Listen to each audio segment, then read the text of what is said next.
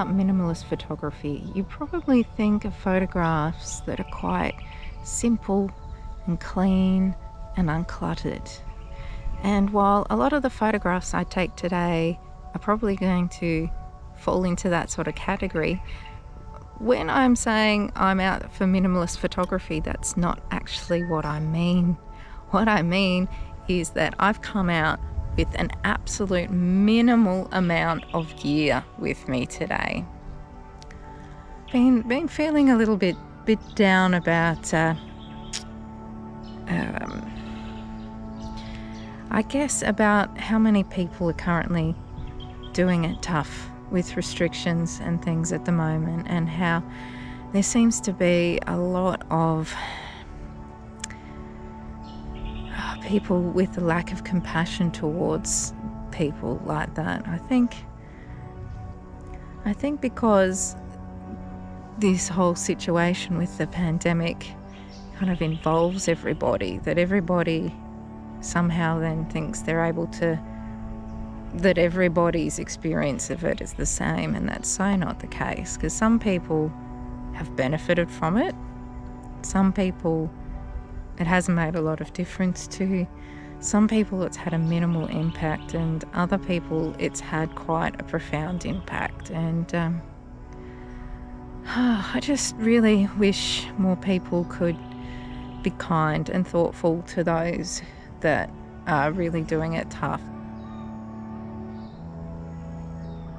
Yeah, I've just been feeling a bit down about it all these last couple of weeks and um, finding, I guess, creativity difficult, finding, I don't know, for some reason I've been a bit stuck of having difficulty just communicating very well with people.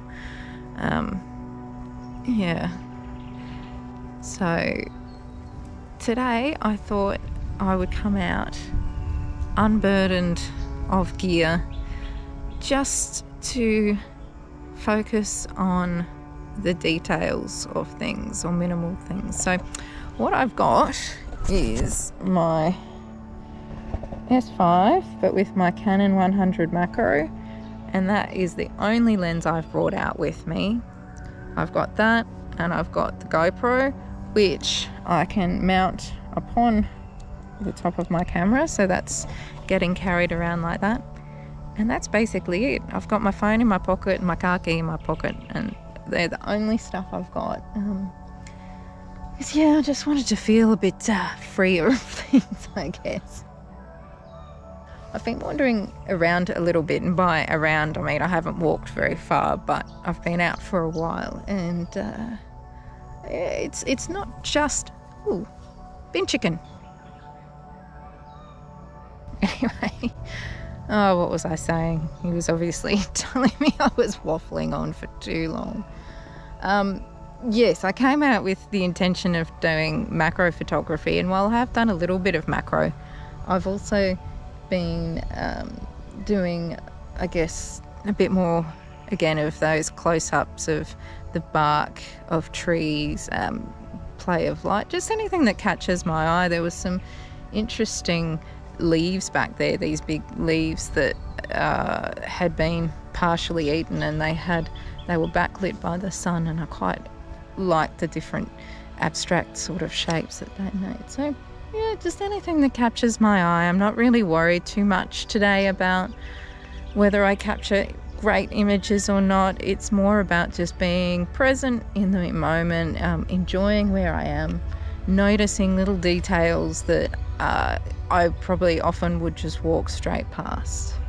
Now, I don't think I said I'm actually down at a little bit of um, foresty area in Mudgeeraba, which used to I used to live just down the road from here, so I used to come here quite regularly, like you know, two or three more times a week just to have a wander. And oh, I'm doing a lot of rambling today. Let's uh, let's get on and uh, have a bit more of an explore, shall we? A bit more photography.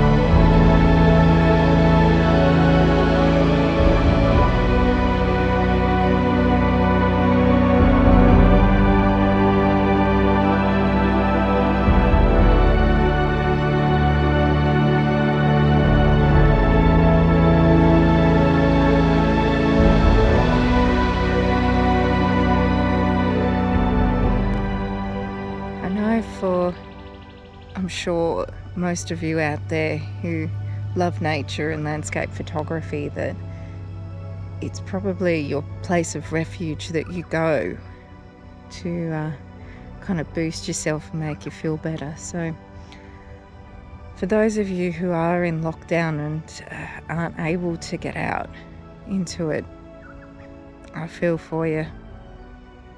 I hope that those of us that can can share a little bit of it to try and help you help you through the whole process. I know it's not the same, but uh, yeah, we're all here, and uh, I'm sure we we can all empathise with you.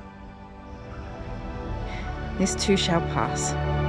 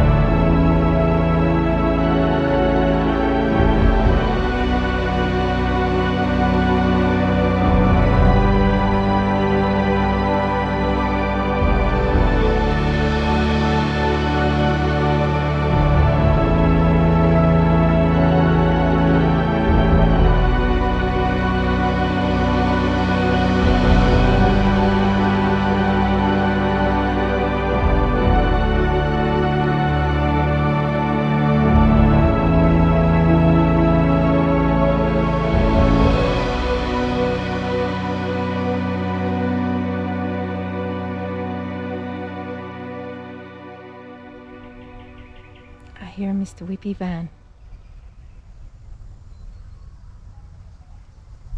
I could go, Mr. Whippy.